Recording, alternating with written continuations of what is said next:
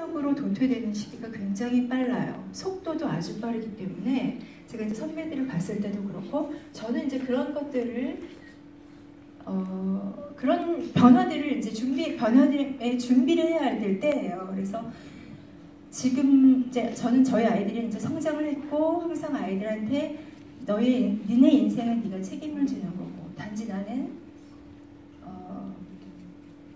너를 사랑하고 지지하고 무슨 일이 있어도 실망하지 않을 것이며 네가 실패를 해도 기뻐할 수 있다. 왜냐하면 난 그 실패에서 끝나지 않을 걸 알기 때문에.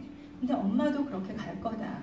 너희들도 나를 지지했으면 좋겠다 정도까지 왔어요. 그래서 저희 아이들은 사회인을 준비를 하게 되니까 저보다는 훨씬 액티브하게 일을 많이 할 것 같아요. 그리고 그들이 에너지가 훨씬 더 많아질 거예요. 저는 대놓고 얘기할 거예요. 엄마를 도와라. 내가 이 시대 때 에너지가 많을 때 너네들 키우느라고 쓴 에너지를 너희들이 이제 나한테 리턴해야 된다. 하지만 나도 열심히 살 거다.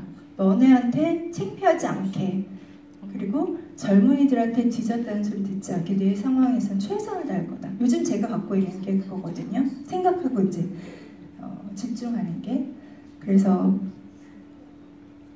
제가 이걸 한번 잘 해보고요. 또 이게 결과들이 어떤 뭐 여러 가지 시행착오를 잘 겪어보고 아, 이런 것들을 나누면 좋겠다 하면 그때쯤엔 또 한번 다시 한번 여러분과 나눌 수 있는 기회가 있으면 좋겠습니다. 고맙습니다.